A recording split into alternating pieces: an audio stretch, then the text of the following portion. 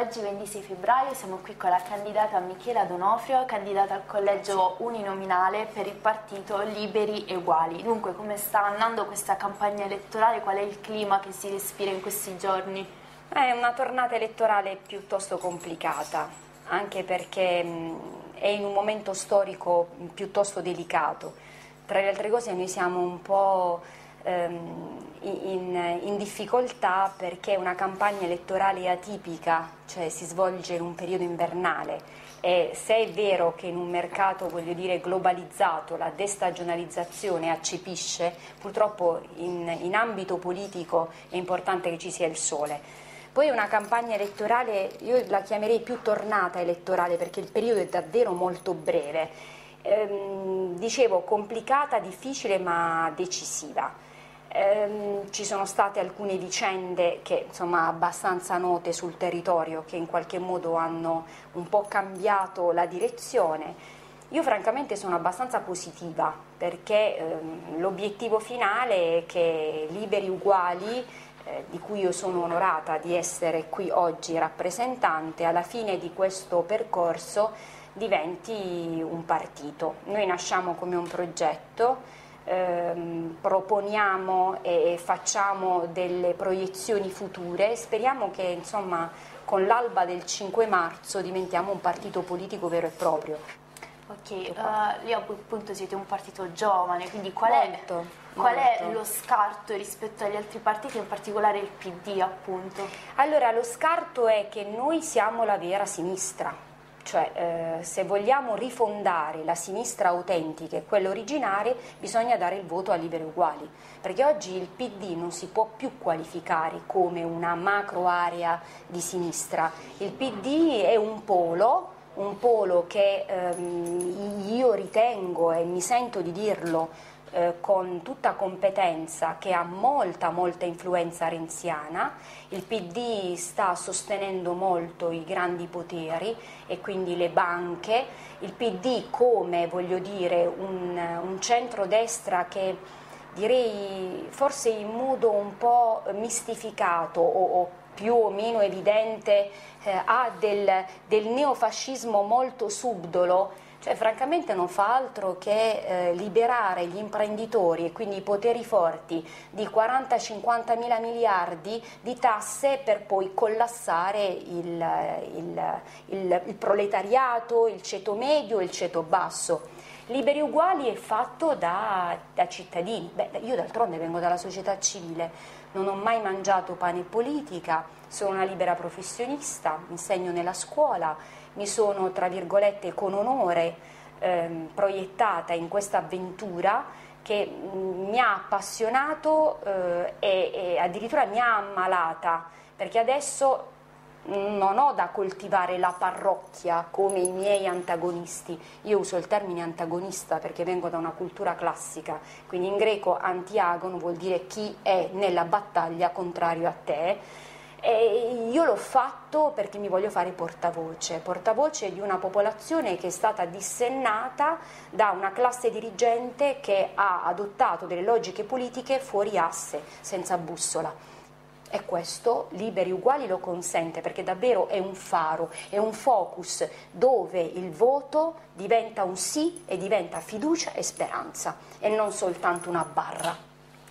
Con la legge elettorale attuale probabilmente ci ritroveremo al governo con una maggioranza non molto stabile, mm. anche con le varie coalizioni che si vengono a creare, quindi lì quale futuro vede per questo governo, qual è sua, il suo pronostico Ma e io... se crede che avrà anche una vita breve o lunga? Io credo che non ci sia nessun governo presumo per quello che avverto che non, sarà, non, si formerà una coalizione di maggioranza, perché è vero che i sondaggi, perlomeno per quanto riguarda la parte mh, del settentrione e una parte del meridione danno come favorito il centrodestra, però è anche vero che poi in politica gioco forza, i sondaggi la fanno da padrone, però il voto finale è quello dell'ultima ora.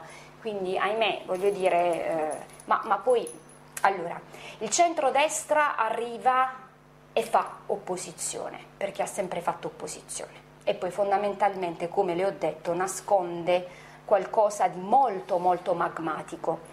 Qualora dovesse arrivare il PD, il PD ormai è renziano, il PD è fatto di micro eh, coalizioni e quindi di particelle, finirebbe poi dopo con l'appoggiare Renzi e questa sua, tra virgolette, selvaggio, selvaggio atteggiamento riformista, ma non nei confronti del territorio eh, nazionale. Renzi va in Europa, poi che cosa fa? In un qualunque palazzo infila un, eh, il termine, lasciatemelo passare, eh, un water e propone a tutti quanti di vomitarci dentro che ci arrivi il Movimento 5 Stelle.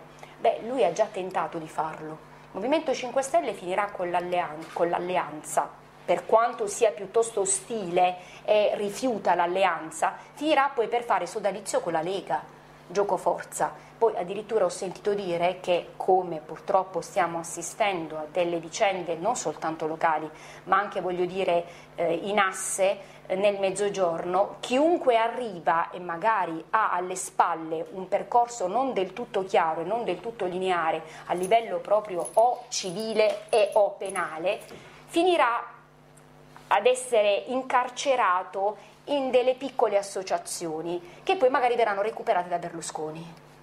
E quali sono invece le sue proposte relative al territorio? Quali eh. sono le sfere eh, diciamo, dove è più urgente intervenire? Allora io francamente quando penso a Manfredonia eh, farei un top 10, cioè ipotizzerei 10 punti importanti. Non voglio soffermarmi perché ne ho già parlato in tv eh, per quanto riguarda le infrastrutture, seppure programma Grasso c'è un, eh, un capitolato importante per quanto concerne gli investimenti pubblici, lì dove noi puntiamo, prima ancora che operare i trasferimenti monetari o gli sgravi fiscali che sono stati adottati dai miei, tra virgolette, dalle macro aree, va, chiamiamole così, e beh, per Manfredonia. Manfredonia nasce come città di mare, quindi ribadisco, non parliamo dire, del contratto d'area, non parliamo dei mancati interventi sulla Sangalli che mh, è tutti noto che è il cavallo di battaglia di Emiliano, però ancora non si smobilita nulla. Io direi Manfredonia Mare. Beh, insomma, eh, Manfredonia è una città turistica. Oltre ad essere una città turistica dove noi abbiamo eh, eh, il, il, prodotto già ben confezionato, perché eh, a Manfredonia eh, c'è turismo sostenibile dovuto innanzitutto da un bene che è il mare che si traduce in un prodotto economico. Quindi a Manfredonia eh, il turismo diventa una risorsa economica di tutta eccellenza, il che significa che grazie a quello che il mio programma suggerisce, una riconversione in termini economici del prodotto e del bene turistico di Manfredonia determinerebbe all'interno del territorio un plus valore aggiuntivo per quanto riguarda il PIL ritornando, perché adesso mi sono un po' spostata, vi chiedo scusa, io sono molto legata alla mia terra e farei, farei tanti, direi ancora tantissime altre cose. Quindi, allora, tornando a noi, il voto a liberi uguali è l'unico voto utile possibile, perché l'EU eh, vuole proprio questo, la programmazione.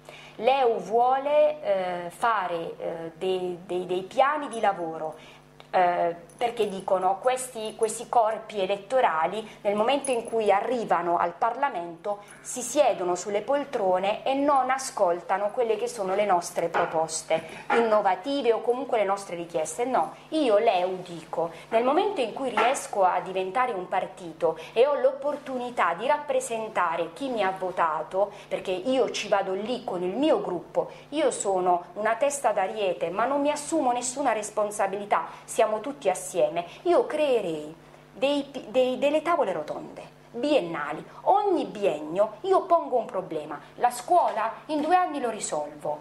Eh, il problema del lavoro sul precariato cerco in due anni di trovare una soluzione e credetemi, in due anni un problema lo si risolve.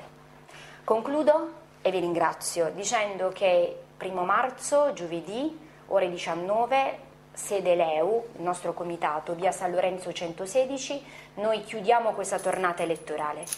Io invito tutti, ma davvero tutti, soprattutto quelli che hanno dei dubbi o addirittura coloro che eh, stanno pensando di essere astensionisti, di partecipare a questo nostro ultimo incontro, perché sono convinta che dopo avermi vista o ascoltata eh, possa io fare in modo che decidano di votare l'EU, perché è davvero l'unico voto utile. La sede è abbastanza facile da raggiungere perché è una, è una parallela della Chiesa Madre, della Chiesa Cattedrale.